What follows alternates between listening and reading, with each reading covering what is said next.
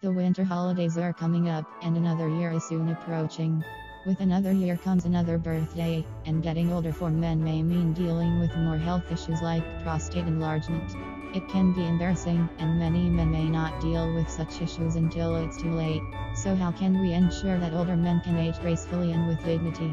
Preventative care and knowledge from an earlier age is a good start.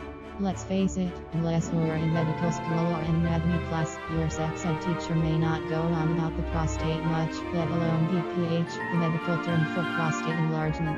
You may not ever hear about prostate enlargement until you're at the urologist getting a diagnosis.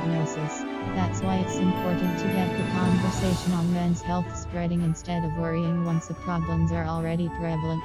Practicing a healthy lifestyle isn't a 100% safeguard against sickness and disease, but you could reduce your incidence rate and lessen the aggravation of symptoms that do come up. Do that through doctor recommendations, conversations with fellow men, safe and natural treatments, etc.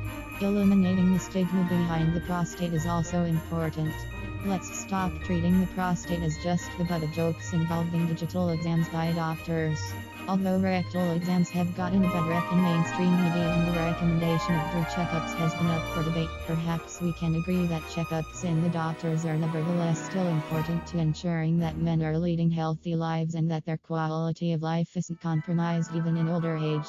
By creating an environment for men to feel comfortable discussing and seeking help for their health, we can get closer to helping men live longer, healthier lives and aging with dignity.